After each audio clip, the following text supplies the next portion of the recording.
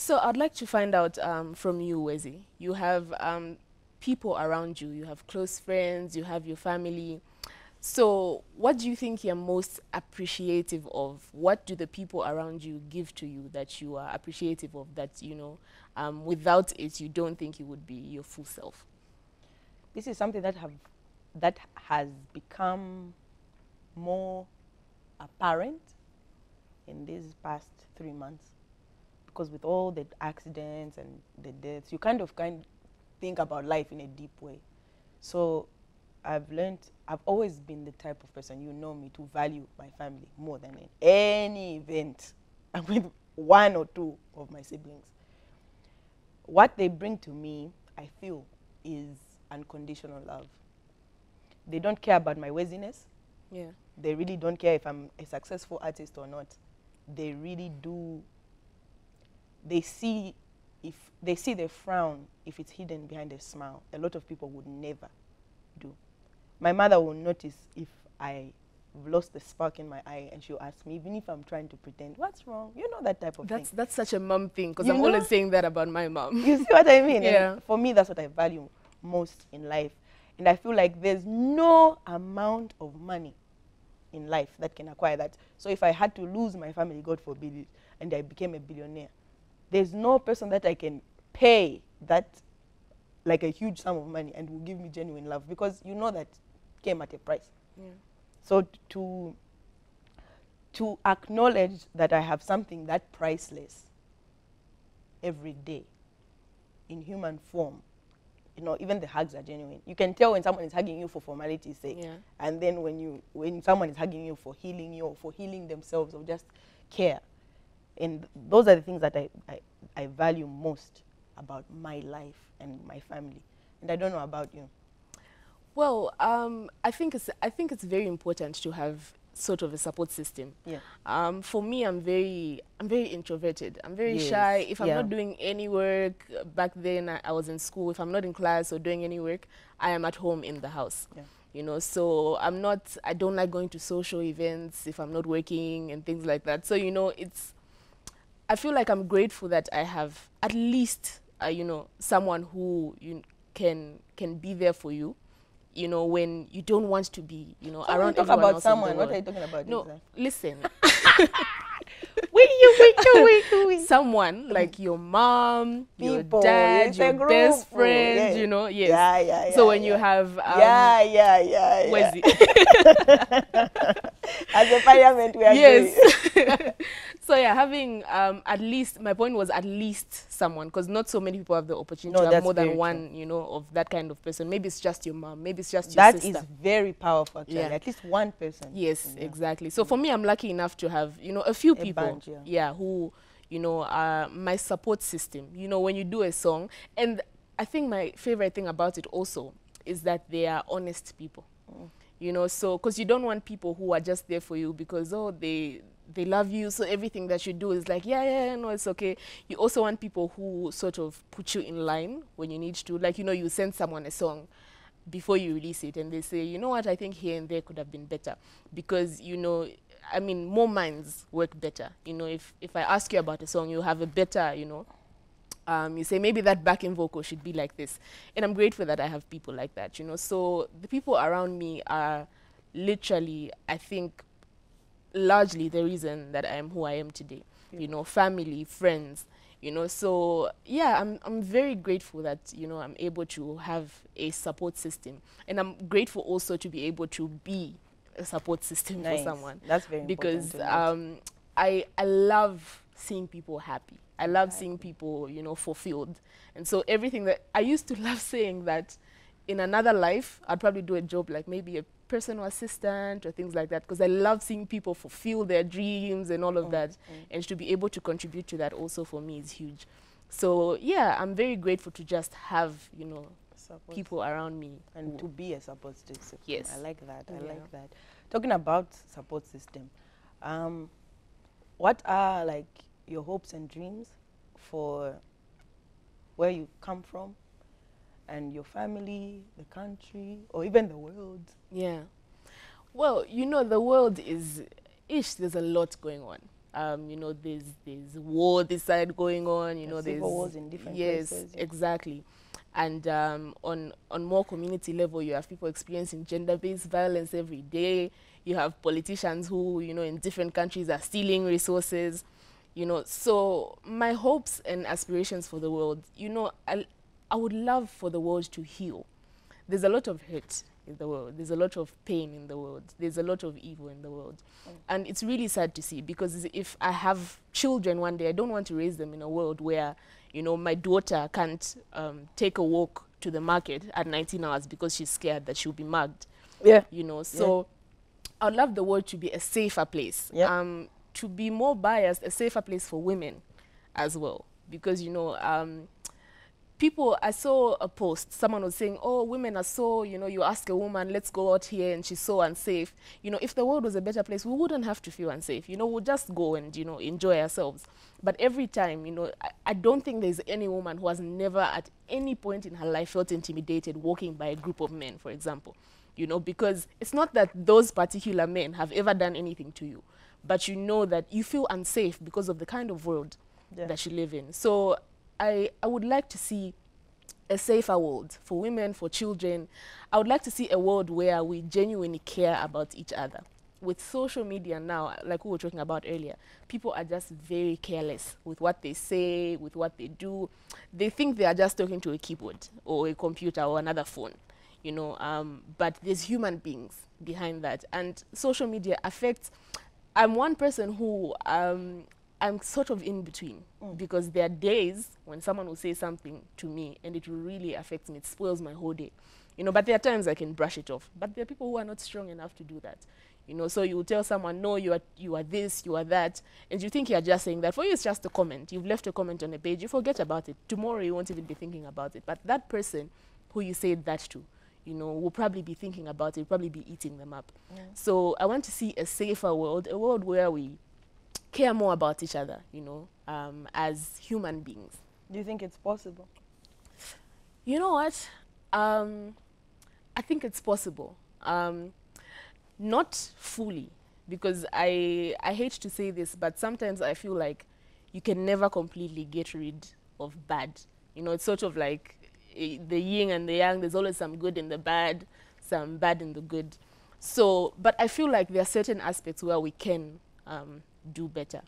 To say the world will completely be a good place, I, I really don't know because things like conflict will always arise. Even just you and I, you know, the a day that a day will come when we'll be recording a song and I don't like your lyrics and you really love them and eventually turns into, you know, a whole thing. So I don't think we can completely get rid of everything negative, you know, in the world, but I think we can make the world a better place. Yeah, I agree with everything you said. Yeah. And then, just like because it's Women's Month, do you think there's um, prejudices in, in, in fields of work that you need, that you think can be challenged, and how do you think that those can be tackled? I feel like being a woman in any field um, today is a challenge in itself because years and years and years back, the role of a woman was to be at home, take care of the children, cook, clean. You know, that was the role of a woman. So now you're living in a world where women have said, no, I have the ability to work. I'm, an, I'm a human being even before I'm a wife, even before I'm a mother. I'm a person on my own. Yes. So, you know, you have women who are in fields that people thought were for men. You have women who are flying planes, you know, in the aviation industry. You have women musicians, you know, like ourselves. You have doctors and all of that. Women are doing, you know, are, are dominating these, these places. And because of the mindset that is still changing, we are still in a very transitional phase.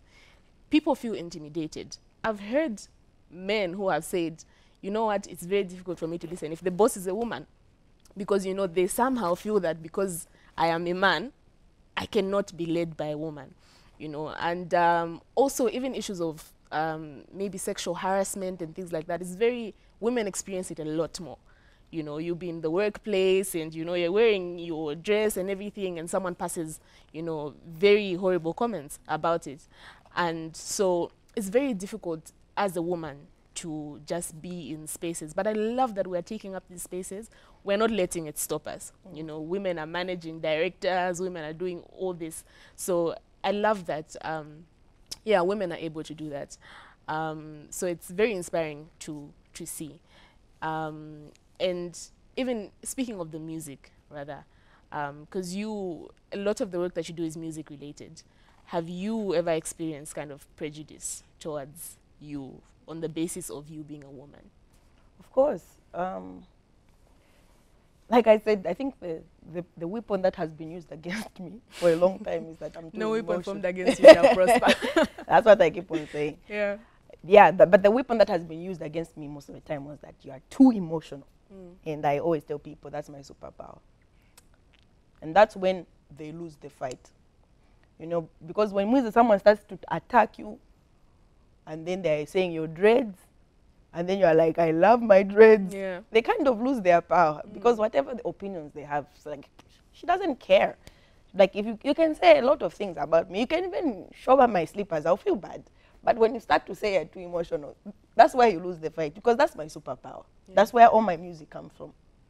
That's where my entire personality is, is based on. That's where that's how I worship. You know what I mean? So being too emotional for me has been used against me. A long time ago it used to irritate me, but I'm fine. And then we always have these conversations with our comrades where they say at, uh, at when a man is when a man cries at work, no, the man is passionate. When a woman cries at work, she's um, she's too emotional, she's incompetent for the job. So if, if a man, let's say for instance, um, Wedson Nyirenda was coaching this football team and they win, they score, and then you know tears are coming down his eyes, like wow, the coach has cried, it's so beautiful, it's emotional. But if it's something like ah, women are too emotional for sports, Yeah. yeah, so it's, but it's beautiful Yeah. the emotions of a woman are, are, are very valid. Like I said, on the biological basis of being female, that is beautiful. Yeah. Mm. So let's kind of end this first of all um, on a lighter note. Yeah. In the life of Wezi, you're not working, you have no show, you have no event, you're not going to any protest. What are you doing?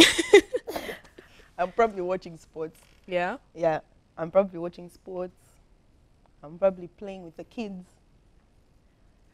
I'm a very interesting person because um, besides interacting with my immediate family and uh, supporting different other types of talent and passions, I like to be alone. I like to be in complete silence for hours. That's what I like. Or I can I can do this for seven days. Yeah. Quiet, not talking to people. Um, conveniently not talking to people. Not like yeah. don't talk to people. Neither. When I just choose like okay, so I don't I really don't pay attention to oh no she's moody what what what. I think I, I I'm privileged to be surrounded by people who love me enough to understand me, and they know like okay, she's a creative. She needs to to detox. Yeah. So I don't know about you. For me, I, I also love my alone time. Um, I'm very, sometimes I feel like I don't have the ability to be too social. So if I'm not doing anything, I'm probably at home. As long as I have phone, food, and proper internet, and probably my dogs around me, I'm, I'm okay. You know, so I'm, I'm very, I'm very chilled. But we need to go and watch basketball, Mwiza. you must take me. I always I'll be do. waiting for you. I always do. The other time, Mwiza, you ditched me No, okay, let's listen. for let's- man. No, listen, Wezi. I can explain. I can explain. God bless. When I listen to your new song, one, I love it. Two, we need to discuss how sincere No, we shall discuss sounds. as we I head out. It. Ah, why don't you want to do it here? I love it. I'm, I love it. I just like, oh wow, wow. Look at Thank you so much. No, I'm. wow, Wezi.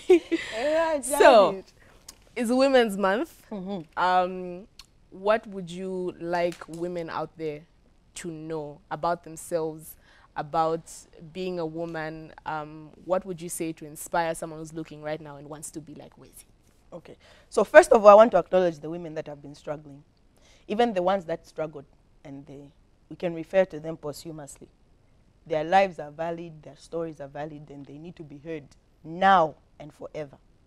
That's one thing I would like to acknowledge. And number two, for us that are living, especially the young women that are coming up and the women just there in general, I see so much beef on social media.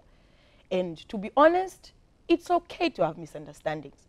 But if your sister offends you, like me and Faith, why should the world know about it? We shouldn't take pleasure in tearing each other apart. Sometimes it's us. You know what I mean?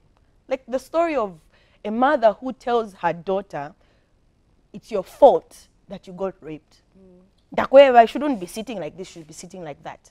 Of course, there are certain behaviors that shouldn't be encouraged. But you should never blame the victim. No matter how someone is seated, it doesn't give someone permission to violate them. So women shouldn't be in front, because this is a reality. Women are sometimes spearheading these conversations. Eh, but in Marichiramo, yeah. these days. You know? And all that is true. But it shouldn't be used as a weapon to blame and shame victims. And the last thing that I would like is for us to build each other. So if I have a problem with you, I'd rather iron it out privately. And if it's not ironed out, I'd rather cut off ties privately than to come and say, now, I don't like Mwiza's music, I think mm. it's trash, what, what, now to affect your, your livelihood, just to show you that I'm superior over you, but then I'm struggling. My struggles as a woman are the same. I might be privileged in more ways or in different ways than you, but it doesn't mean that my struggles are completely different from yours. So we can, there's ways that women can resolve their conflicts without involving the public and without publicly tearing each other down. You know? Even, even when you see something has happened, these womanly days, and someone has soiled themselves, you don't have to announce it. Hey, moneni. Mm. You, you, you, you, you know what I mean? You can just give someone a chitenge without embarrassing them. You can even whisper the correction in their ear so they can learn. It's humiliating enough. You know what I mean? So I think that we should be kinder to one another on a woman-to-woman basis. And because it's Women's Month, I also want to acknowledge the women that are dealing with infertility. Because sometimes you could mistake Women's Day for Mother's Day. And of yeah. course, we, our mothers are the most significant women, most of us are the most significant women in our lives.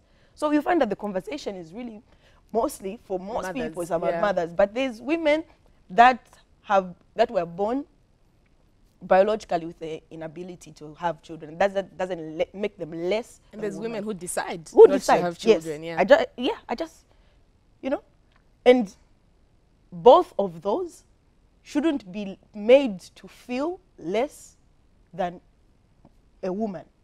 And they shouldn't be made to feel bad or to be stigmatized or discriminated against in any way. So any form of stigma by men or fellow women, because some, sometimes it's the women that two years into marriage, people are greeting you, when, you, when are you getting, when are you mm. having a mm. baby? Hmm? When are you having a baby? People don't know your body. People don't know your choices. And whether you are able to have children and you've chosen to marry and never have children, what business is it for the next person, whether it's a woman or a man, as long as you and your spouse are happy, yeah. you get. So there's so many conversations about women and motherhood, but for general, I want to say there's a lot of women. For example, like Barbara Banda. You don't expect Barbara Banda to have nails on, yeah. to have her lashes on. With the nature of her lifestyle, she's very macho you know? But that doesn't make her less of a woman. But you could see some of the conversations on social media. We shouldn't be, you know, pretentious and what, what, what. She's, she's doing things that you and me can't do yeah. collectively. Akaambakuta flip my tires when she's doing her thing, when she's training, running around the stadium. We, we can't do that. So that's what I want to talk about. When it comes to Women's Month, we shouldn't just make it about one aspect of womanhood, which is motherhood. We should talk about the whole shebang. Yeah, yeah. Remember that you can watch Costa the Other Side every Sunday at 19 hours by downloading the Airtel TV app and watch Diamond TV on the go, regardless of anywhere you may be.